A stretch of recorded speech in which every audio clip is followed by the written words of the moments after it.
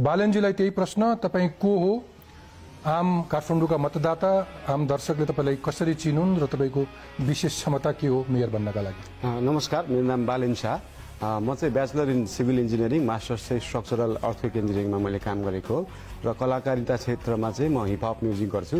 अनि मैले चाहिँ यो किन चाहिँ सिभिल इन्जिनियरिङ ब्याकग्राउन्डबाट हुनुपर्छ भन्छु भन्दाखेरि तपाईँले सरस्वती काठमाडौँ महानगरपालिका अथवा कुनै पालिकाको बजेट हेर्नुभयो भिजन एजेन्डा हेर्नुभयो भने सेभेन्टी पर्सेन्ट कुराहरू चाहिँ सिभिल इन्जिनियरिङसँग रिलेटेड हुन्छ। सिभिल भनेको सिभिलाइजेसनको पुरै इन्जिनियरिङ हो।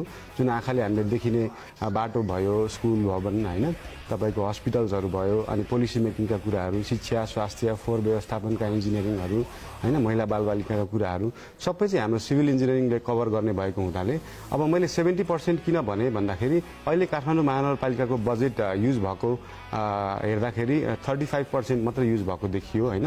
भनेको म एकदमै फेलर कन्डिसनमा सेभेन्टी पर्सेन्ट त काम गर्न सक्ने रहेछु त्यो बजेटको लागि जस्तो लाग्यो। र हाम्रो नेपाल जस्तो अविकसित देशमा चाहिँ सुरुवाती क्षणमा चाहिँ सिभिल इन्जिनियरिङ ब्याकग्राउन्डको मान्छे त्यहाँ आयो भने चाहिँ त्यो मजाले काम गरेर अनि तपाईँको देशलाई चाहिँ विकासोन्मुख बनाउन सकिन्छ बिस्तारै डेभलप पनि बनाउन सकिन्छ। र कलाकारिता माध्यमबाट मैले गाएका गीतहरूमा चाहिँ देशमा रहेका विसङ्गति विकृति social issues political issues mental हेल्थका इस्युजहरू चाहिँ मैले एडभोकेसी गरिरहेको थिएँ।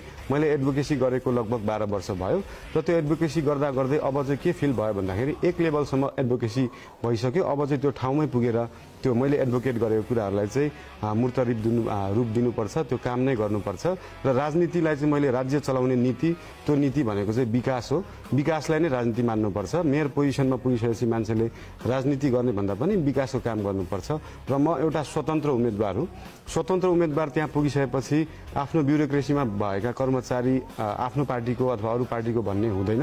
उसले जस्तै अहिले भएका स्थिति हेरियो भने आफ्नै पार्टीका मान्छेले